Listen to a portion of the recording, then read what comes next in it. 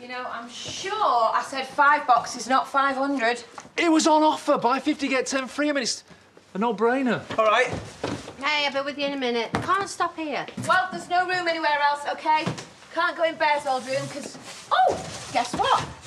The new brother's actually moving in, isn't he? Well, it's handy, isn't it? Family, for work. And it means he can get to know his sister better.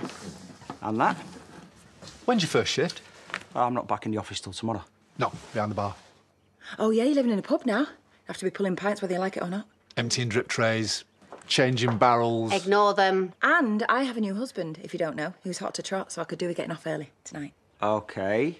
Back off, would you? He's not even moved his stuff in yet. Yeah, I've got more stuff in the car. Oh no, it's just a just a few bits. A sound bar for the telly and a coffee machine. Oh, get in. Is it bean-to-cup? Got a break in 10. Is that too much gear? I'll get rid of it if you want. No, don't be daft. My casa, your casa from now on, so just make yourself at home. Why in the rain? Yeah, not quite the same, is it? So, Caleb's moved in. Oh, yeah. Oh, his new coffee machine's the bomb. And he's got a soundbar for the telly. And he's a champagne drinker, so I reckon the fridge is going to be permanently full. Happy days. Happy days indeed.